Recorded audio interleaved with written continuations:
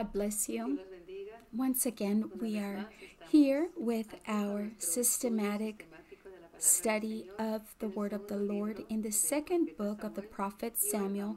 Today we will be looking at chapter 10, and I will begin with a very known saying. And it says, The lion thinks son". That everybody is in the same condition as him. No va a entender. And you will understand it along the course of this study. Este capítulo vamos And in this chapter, we're going to see two attitudes that are completely different. The first one is David with a heart full of gratitude and mercy, and the second one is the attitude of the counselors of the king Hanun lleno de recelo. With a heart full of resentment and distrust. 2 Samuel chapter 10. And it says, It happened after this that the king of the people of Ammon died, and Hanun, his son, reigned in his place. Then David said, I will show kindness to Hanun, the son of Nahash, as his father showed kindness to me. So David sent by the hand of his servants to comfort him concerning his father, and David's servants came into the land of the people of Ammon.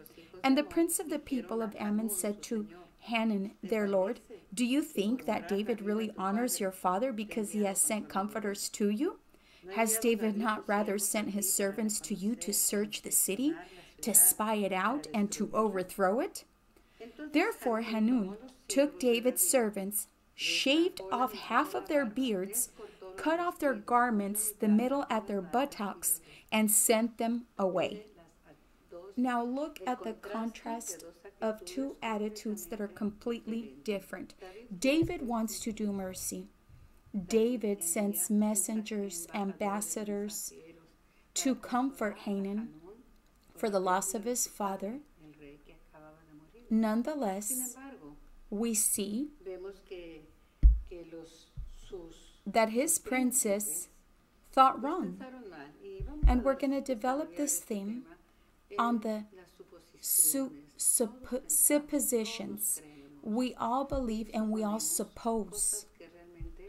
And sometimes they're things that only exist in our mind. Sometimes they're just imaginations of our mind.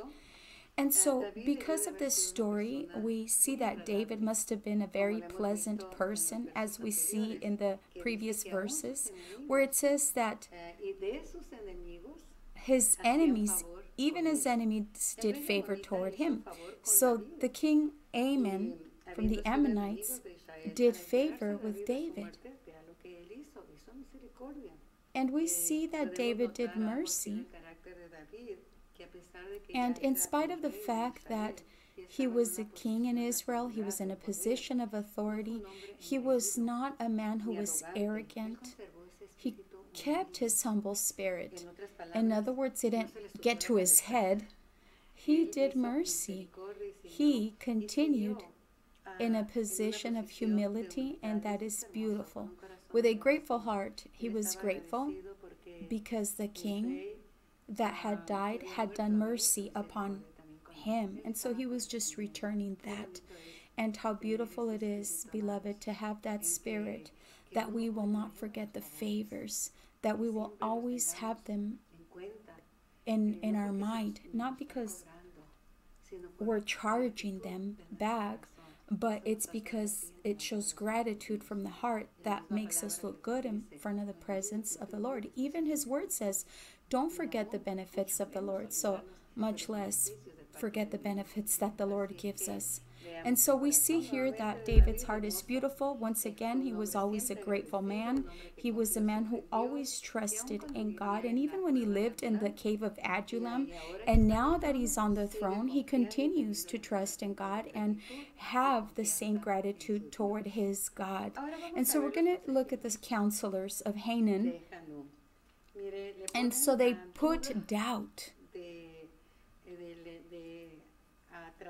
through these questions that they make to the king. rey. Dice, "¿Te They said, Do you think that David really honors your father because he has sent comforters to you? So they put doubt, they put distrust. And that is what the enemy does. It says, Has not David rather sent his servants to you to search the city, to spy it out, to overthrow it? So they thought that the attitude of those men didn't come in good faith. And they thought, and here we're going to notice something. We're going to take this word, write it down, to think. They thought that it was not a friendly visit, but that it was a visit to spy them out. And they humiliated David's ambassadors, uncovering their nakedness when they cut their garments. And even even they cut their beards off and so there's a law that says that the Jews were not to shave uh, their beards. And so it was a complete humili- humiliation. And they believed that so much kindness from David could not be true. They did not believe. They knew that David had submitted all of his enemies under him. And remember that the Ammonites were enemies of Israel.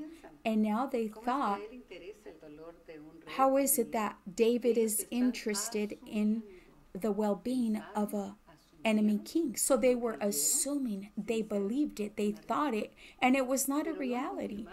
It says that it, they did not confirm. And the question is this, brothers and friends and sisters, how many mistakes have we made because we're assuming something? We have taken as given a situation without first confirming whether it's true or not.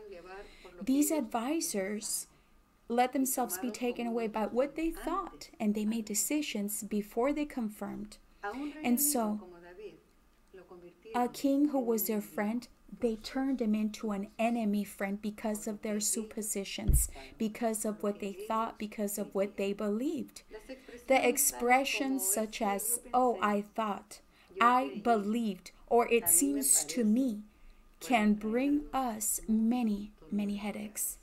I consider that we should meditate on this and not allow ourselves to be taken by hearing versions or, or words from other people without going to the fountain. We should always confirm and we should always speak with the person, not with the ones that come and tell us something about the person. The versions change from mouth to mouth very much. A comment can vary very much inside of the person's heart who has resentment and hatred. Not always what we think or we believe is the truth. Our suspicions could be led by the wickedness of our heart and not by the discernment of the Holy Spirit. To live according to our imaginations can end in the loss of true friends the I believed, oh, because I believed, because I thought. You know, we all think and we all believe. But many times it is not the truth or the real situation. We think so much, and many of our thoughts, beloved, are not led by the Holy Spirit, but by our own imaginations. The they told me or I've heard it is not the sure fountain. Go to the right person. Let's go to the right person to clear up the situation and look for the truth. And we're going to look at the case, and here is a case that can give us light about this and clarify to us what we are speaking about. And we're going to go to the first book of Samuel, chapter 10. And we're going to look at the situation when Saul was crowned as king. And we're going to see something here that's going to help us to clear this up. In verse 27, it says, when they had chosen him as a king already, and they presented him, they crowned him, they anointed him. And verse 27 says, But some rebels said, How can this man save us? So they despised him and brought him no presents. But he held his peace some perverse men or rebels did not honor him, and it was a grave offense to present oneself to the king without a gift. But Saul did not confront this act of rejection or this lack of this lack of uh, reverence. And this was a big mistake in the beginning of his kingdom. Maybe he did not want to look bad. He was always a person who was very conscious of himself. Maybe it was an action of cowardness to not confront them so he wouldn't lose them in his kingdom. And so we don't know how many suppositions he could have made regarding this situation. But what we do know is that Saul ended up being a resentful man, a distrusting man, and a paranoid man. We should pray, beloved in Christ, for a mind that is in harmony with the mind of God. We are going to see 1 Corinthians chapter 2 in verse 16.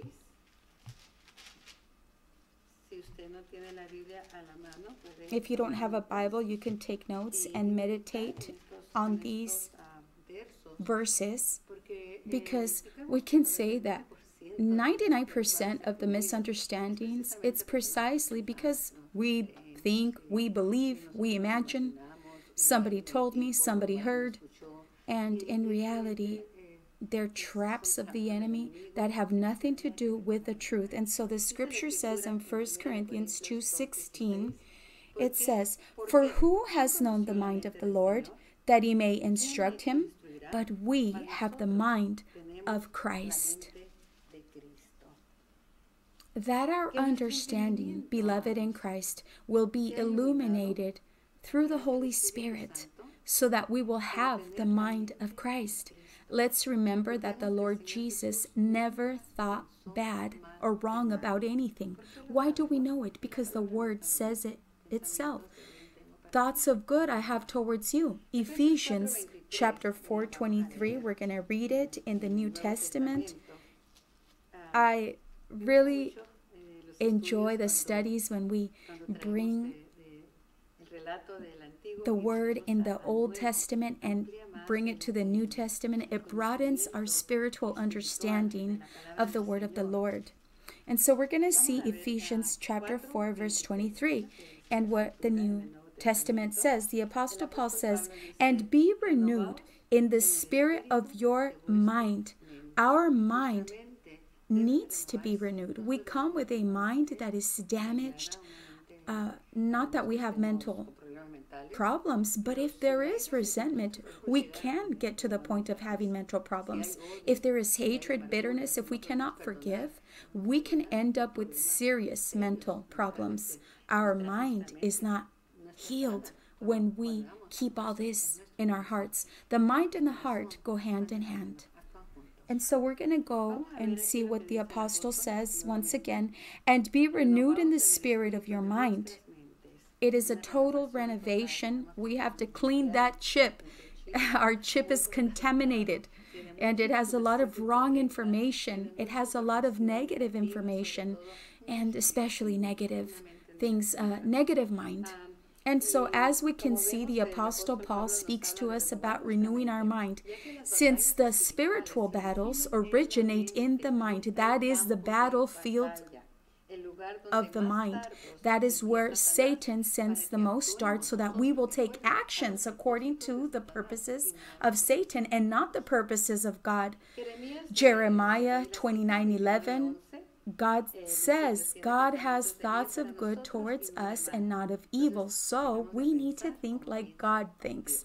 Why? Because we have the mind of Christ. How is it that we acquired through the knowledge of Christ and through the knowledge of the truth in Christ. And you might be able to say, well, what if what I'm thinking is correct? Well, that's a good question. Well, I'm thinking and I'm seeing evidence. Well, let's confirm it first, because even what we see, the enemy is a specialist in distorting even our vision. And so we have to confront, let's have enough courage to confront, not in a spirit of war. Let's not show up with our weapons and, you know, I'm coming to confront you because this or that. No, no, not like that. But with a with a flag of peace that the Holy Spirit gives us. And let's go with a person that you and I suppose that has something against us. Maybe it's a misunderstanding. Listen, this is not a maybe. This is a truth. We all offend with our words. Maybe the person is offended, resentful, and it is a good thing to have that confrontation, not of war, but of peace, to bring peace and unity. And so now, if it was true, let's go to the extreme. Okay, you know, I hate you, I can't forgive you, get away from me. Let's just say that that was true. And if and uh, it's what we were thinking, then let's take the example of David. There is an example that can guide us, that is going to guide us when it is true what we're thinking. Even though it is true, it doesn't give us the right to hate. We have no right. The Holy Spirit does not give us that right. That right is not for us. That right is a right that the enemy has because it is his specialty to bring that division, hatred, resentment. Those that's his arsenal. But for us, our spiritual weapons is love, is forgiveness, is to forget, to not keep the resentment. That is what belongs to us. That is what should be what concerns us if we have the mind of Christ, if we truly have been born again, if we truly are clothed in the new man, like Ephesians 4:23, uh, verse 24 says, and that you put on the new man, which was created according to God. And so if we are in Christ, our old mind is inoperant so that we can think like Christ through His Word, through what He teaches us, through His guidance, the guidance of the Holy Spirit. And so, therefore, beloved in Christ, all of those battles. They are effectuated according to the purposes of the enemy when we think negative. And if it was true, let's see what the word suggests us. If it was true, if what we're thinking is true, let's go to 2 Samuel chapter 10. The scripture says in 2 Samuel chapter 16, verse 12 says, it says, It may be that the Lord will look on my affliction and that the Lord will repay me with good for his cursing this day. So, what is David saying? When David is going through the greatest affliction of his life, when he's running because Absalom, his son, had uh, was had overtaken the kingdom, had taken his women, had taken Jerusalem, besieged his throne. And he's afflicted, he's broken, he's humiliated, he's humbled. And so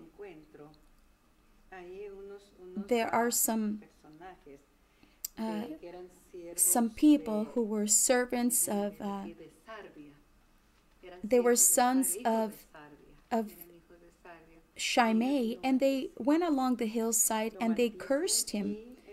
And so the men of David were always prepared to defend him. But look at David's attitude. David had matured here. David had matured through the pain, through the brokenness, through the many battles, through the many tasteless situations, through the communion with God. He had matured. There is a process of maturity. The immature becomes violent. The immature believes all things because they're immature. They don't reason. They don't think with the mind of Christ. They think with a carnal mind. But here, David had already matured spiritually, and they are cursing him. And he himself says, Let them, let them curse, for let him curse, for so the Lord has ordered him. It may be that the Lord will look on my affliction, and that the Lord will repay me with good for his cursing this day. So look at David's attitude. And this is the advice of the word of the Lord. Let's leave every matter in the hands of the Lord. And if there are people who curse us, if they are people who cannot uh, don't want to be around us. But let's remember that we're not a golden coin. We're not going to be liked by everybody. We do not have the right to become undisposed. Everything is in the hands of God, and that our attitude will be like the attitude of David with an enemy, because the Ammonites were enemies. He sent his ambassadors to comfort the son for the loss of the father, the king who had just died. And he says, I want to do mercy. And he wanted to make a covenant. He wanted to make a covenant to do favor towards the kingdom of the man that had taken the possession, in, in this case, Hanan. Now, the tragic of this story, because this there is a big tragedy here. And it is this that the friend, the king that was a friend, they turned him into an enemy. And David was a warrior. And David was always ready and he was trained for war. But let's notice that David got angry. And so we're going to go back to chapter 10 of 2 Samuel. It doesn't say that David took the weapons and said, I'm going to finish him off right now. That's not what the scripture says. It says only verse 5 when they let him know, it says, um, so he sent to meet them because the men were greatly ashamed. And the king said, Wait at Jericho until your beards have grown, and then return. And when the people of Ammon saw that they had made themselves repulsive to David, the people of Ammon sent and hired the Syrians of Beth Rehob. So David was angry. Yes, it was true. David got angry. But it doesn't say here that he raised up his men to go and fight against Ammon. No. But when the sons of Ammon, they themselves says, "Oh, we have become repulsive to David," then the sons of David, the, I'm sorry, the sons of Ammon, what did they say?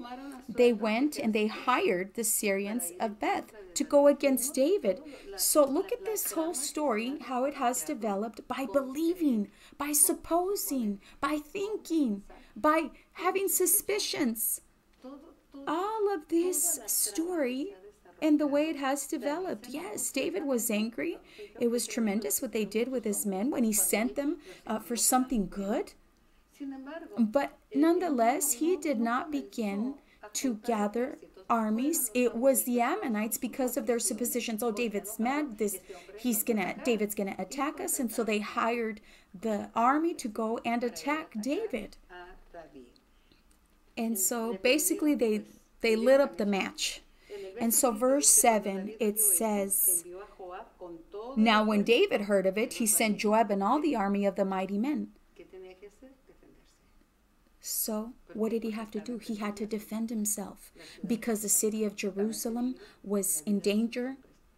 The life of his men was in danger, his government, everything, his reputation as a king, because they had done wrong. They had humiliated his men. But David did not begin the war, but it was the Ammonites that began it because of their suppositions.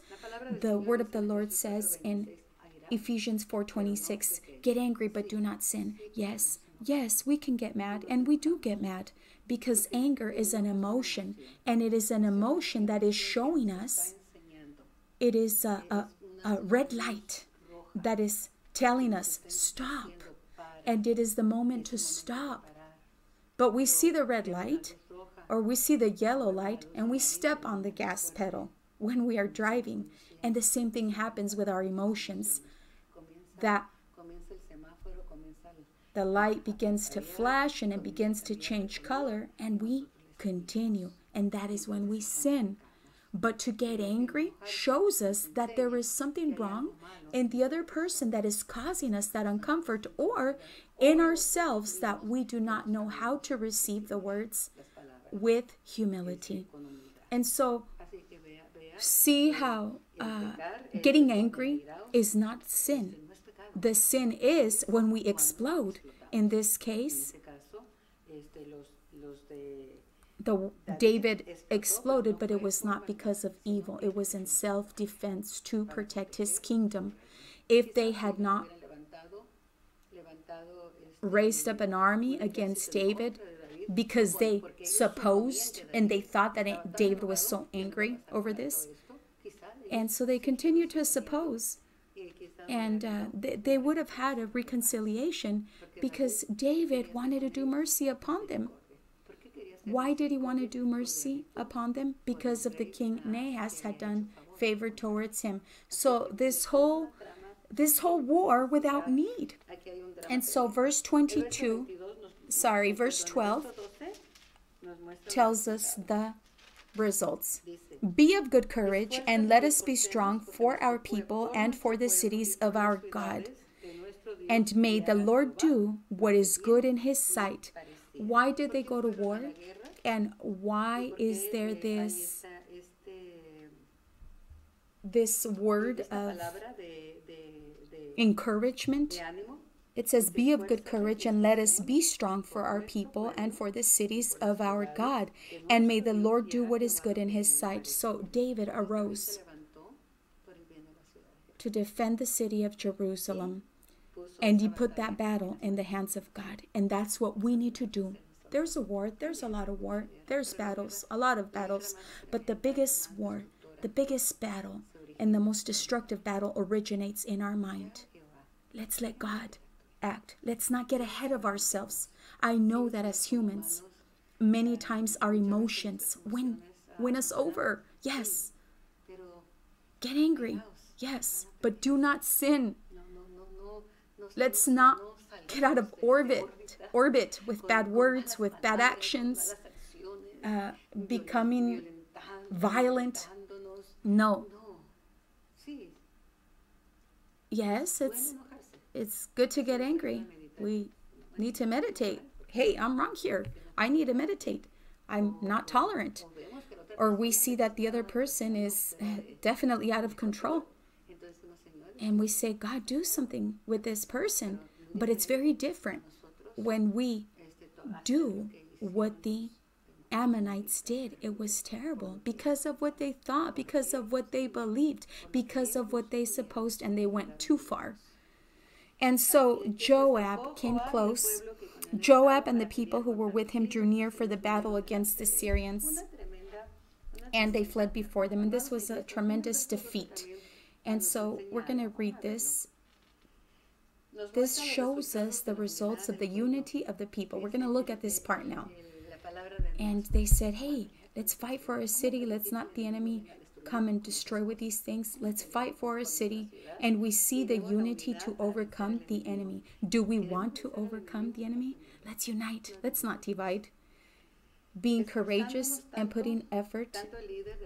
All the leaders, we all should um, be of good courage as one along with all the people of God, to stop all the attacks of the enemy and let God do as He pleases. This is a beautiful verse, it says, And may the Lord do what is good in his sight. Let that be our attitude as sons of God, as daughters of God. Let him be the one who does it. Let's let the whole matter in the hands of God. But the tragic thing out of this whole story is that the king that was a friend, they turned him into a an enemy. And let me tell you what happened.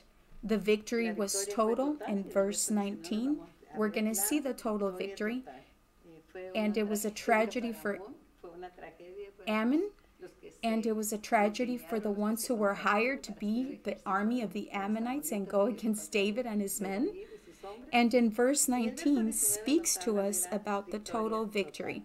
And when all the kings who were servants to Hadadezer saw that they were defeated by Israel, they made peace with Israel. Look, everything works for good. They wanted to do evil to David and his men because of what they thought, because of what they believed, because of what they supposed, because of their suspicions. But what happened? That all the enemies of David here, the Syrians, made peace with Israel and served them. And there, from there forward, it says, so the Syrians were afraid to help the people of Ammon anymore. So it's beautiful to leave everything in the hands of God. Amen. Look at that total victory. They made peace with Israel. They served them. And from there forward, the Syrians were afraid to help the people of Ammon anymore. Do not help with the evil of the evil, the one of evil thoughts, or the one of a long evil tongue. What should we learn from this lesson? Let's always have a thankful heart towards God, knowing that He is with us at all times. Second, not do not have a heart full of distrust and do not live according to what we believe or what we think without first confirming. We should confront till we get to the bottom of the truth and wait on the Lord.